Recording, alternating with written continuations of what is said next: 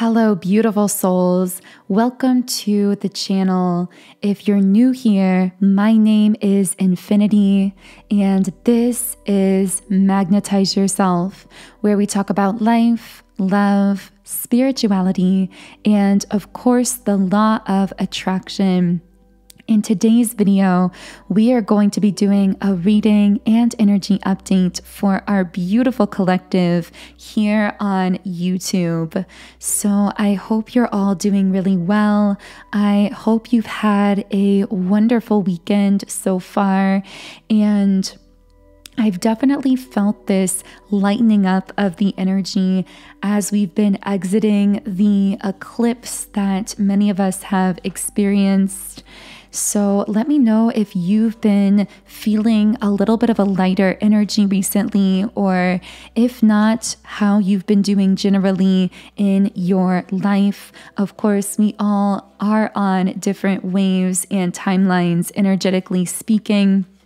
But it's so beautiful that we can connect here through this virtual space on YouTube to uplift and support and inspire each other in this journey through life. So here we have the card Strength. Now, this really speaks to bravery, confidence, courage. I feel like someone is really tapping into a newfound inner strength. But the thing about this strength is that it's coming from the third eye chakra. So, the third eye chakra is the seat of our intuition. So, whoever I'm speaking to here, you have tapped into a newfound strength within yourself, but this is coming from your profound ability to move in connection with your own intuition. I feel like you are really stepping forward in a positive way in something in your life. With the King of Wands, this is a very strong leadership card. So I'm getting that you might be coming into an era of leadership, being some type of leader, maybe in your industry, in your space, when it comes to a passion that you might have. If you aren't yet feeling yourself in this place of leadership, know that this could be speaking to the recognition that's coming to you.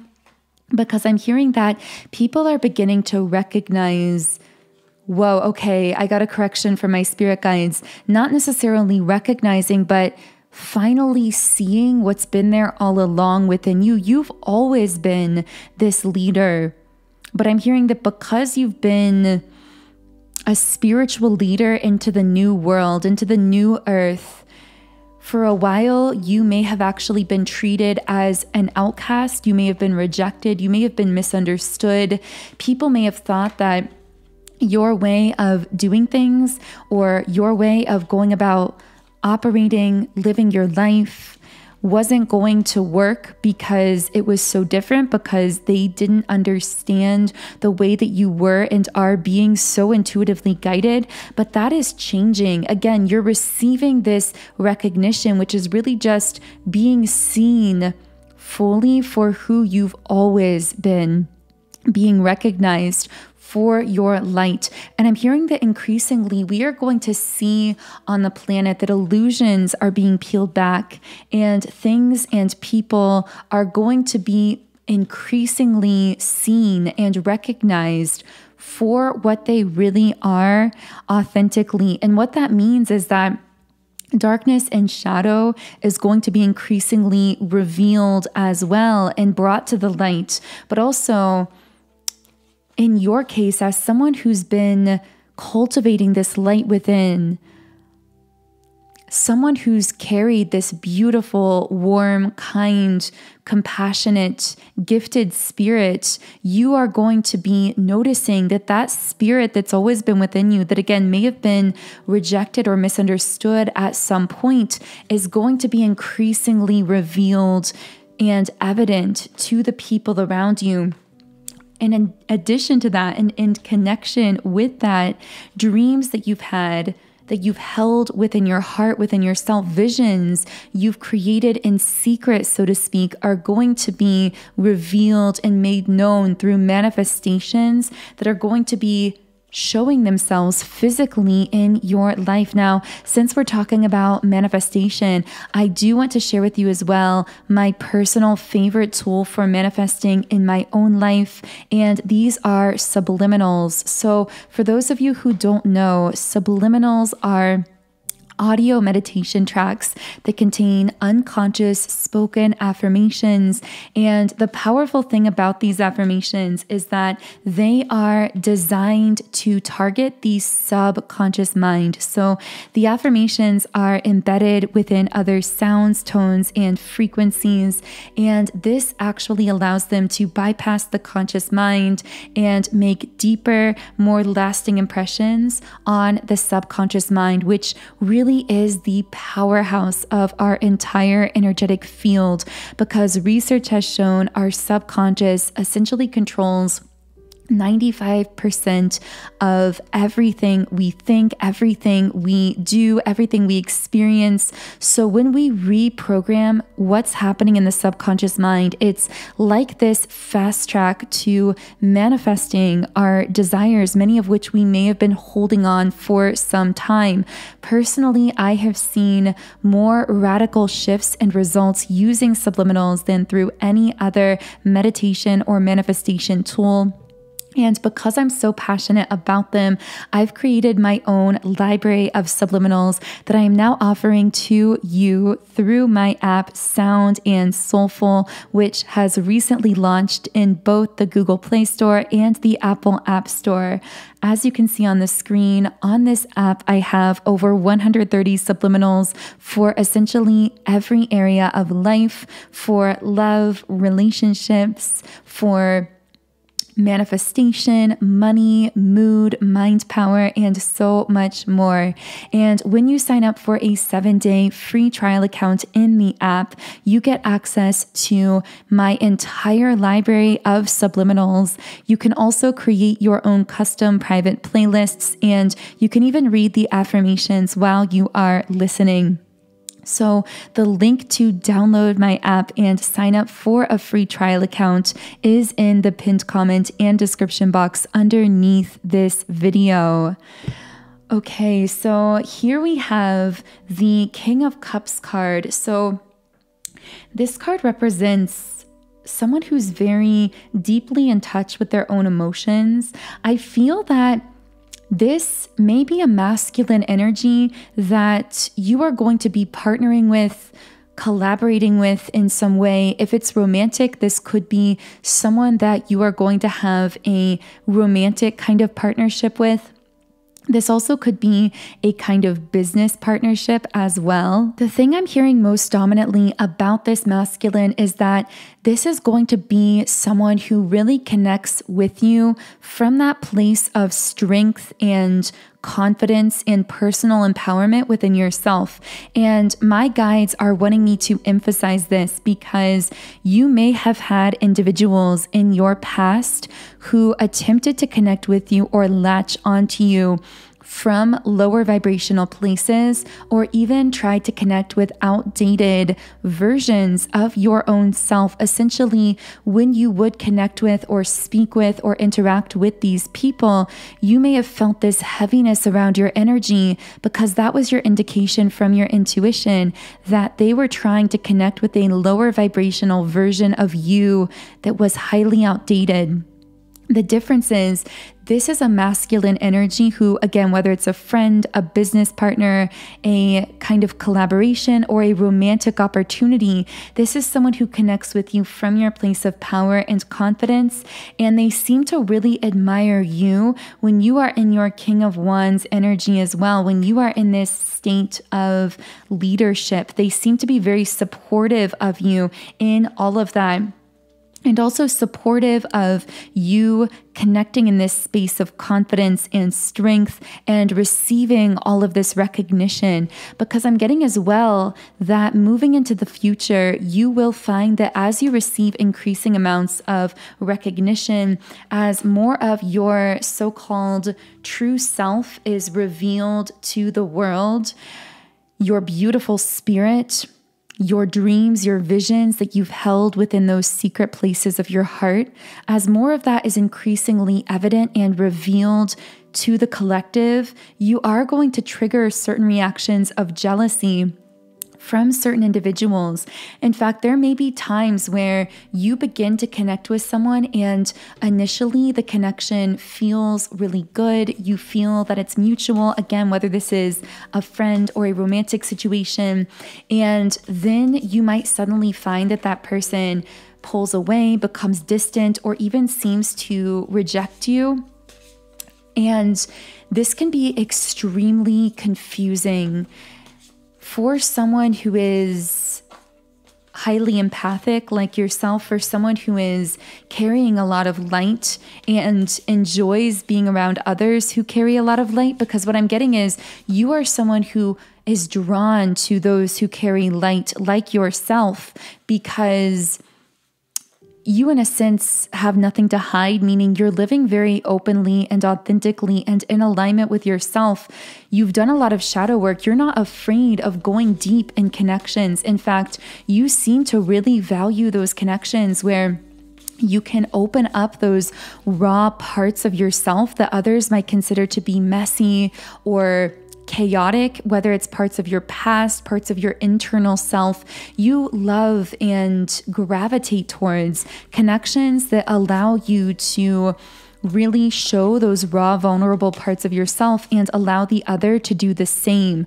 But there are some who are triggered by light because they are not willing to face certain shadow aspects of themselves, certain aspects of themselves that are messy, that are more raw and more vulnerable. And so when they spend time around you, initially there is this feel good effect from your light, but there is almost like this delayed reaction of triggering at times because as that light, as that high vibrational energy begins to work within them, it comes up against these blockages and these parts of themselves that are brought to their consciousness that are meant to be faced, that are meant to be absorbed into the light of their consciousness, and very few people are willing to be on that path of constant self development, self evaluation, self growth that is required to be someone who is consistently connecting with a being that carries as much light as you do.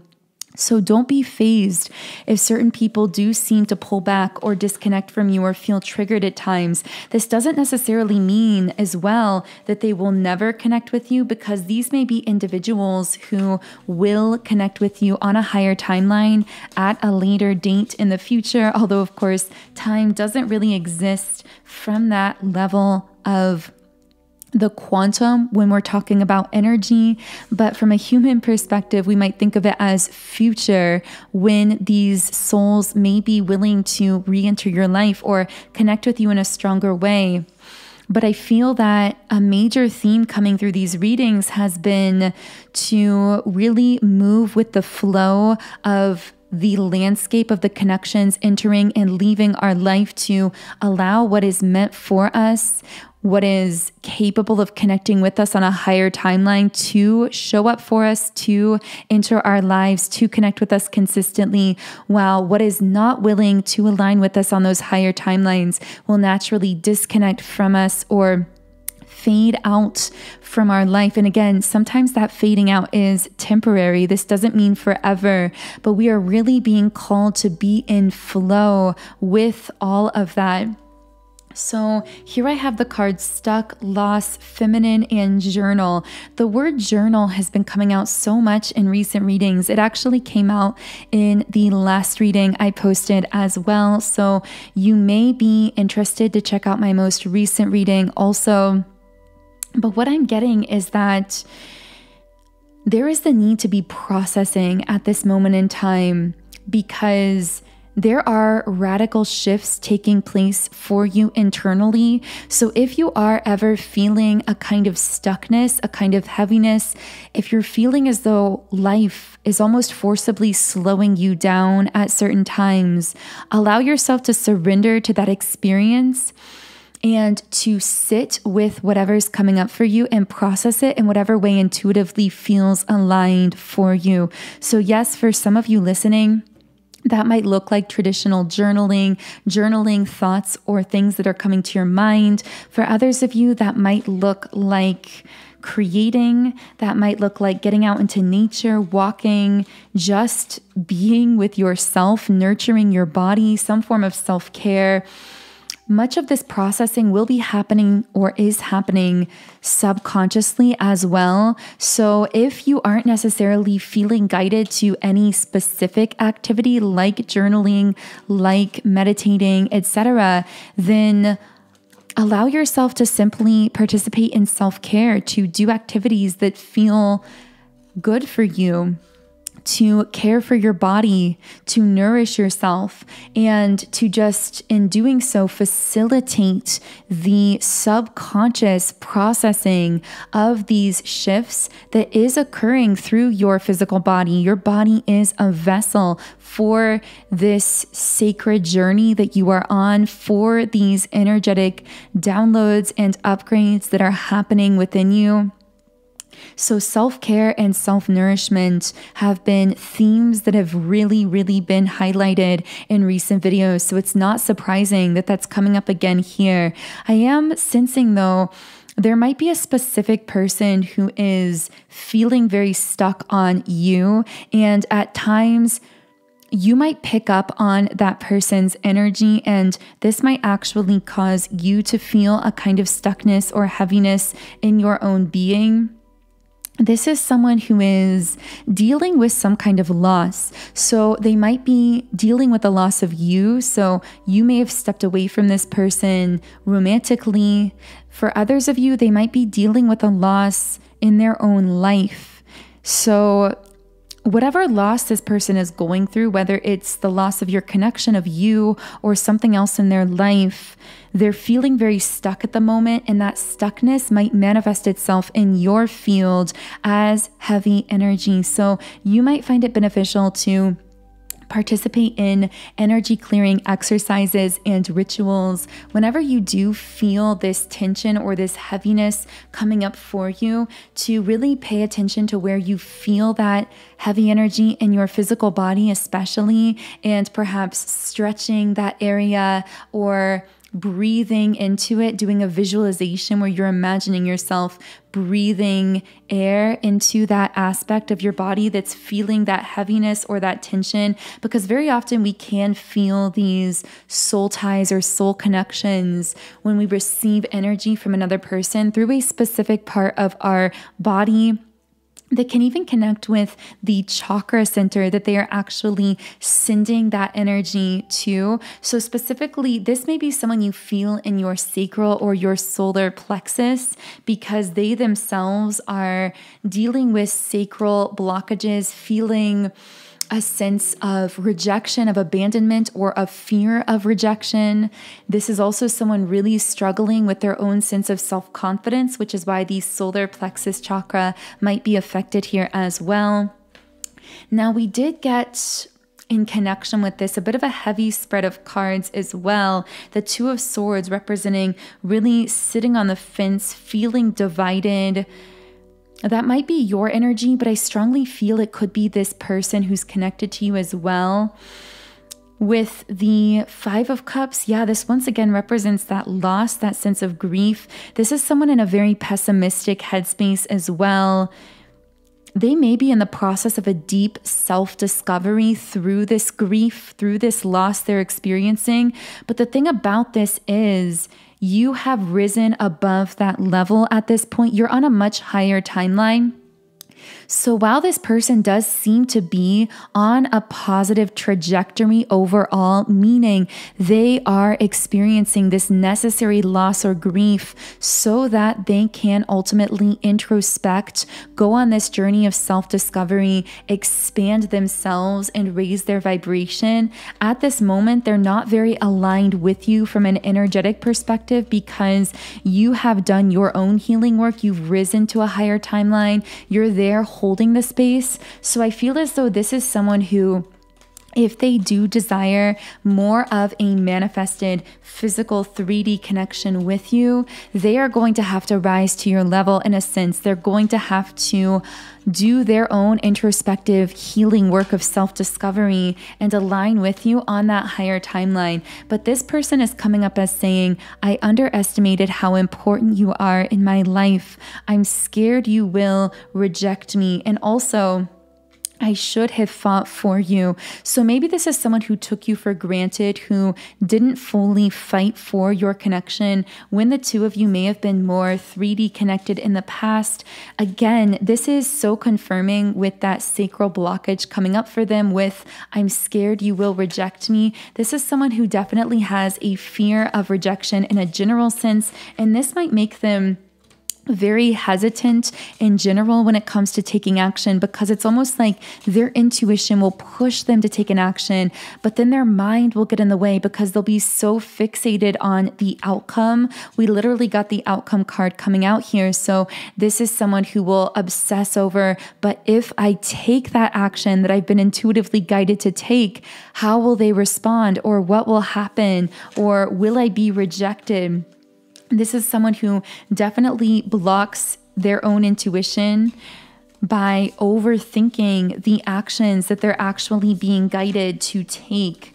And that may have actually played into why there is some kind of separation between the two of you here in the physical with the separation card coming out here. But I do still sense a very strong 5D bond. In fact, we're getting the lovers card reversed on the heart chakra. So this may be a twin flame or a very high level soulmate connection where the two of you are very much interacting in the fifth dimension, in the higher realms. Even as in the physical, there may be these disconnects because of this person's hesitancy at the moment to fully take action on their intuition without overthinking it with blessing of Zara coming out from the Rumi Oracle, I am going to read a final message from the Rumi guidebook, but I do want to let you know as well that I do have an Instagram where I post more energy updates, inspiration, and information.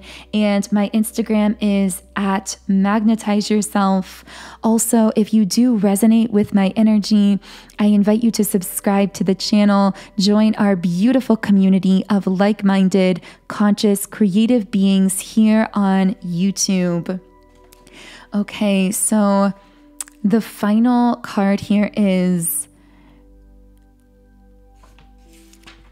again, blessing of Zara. And the message is let go of thought. Don't take it into your heart. You are naked, and thought is like ice.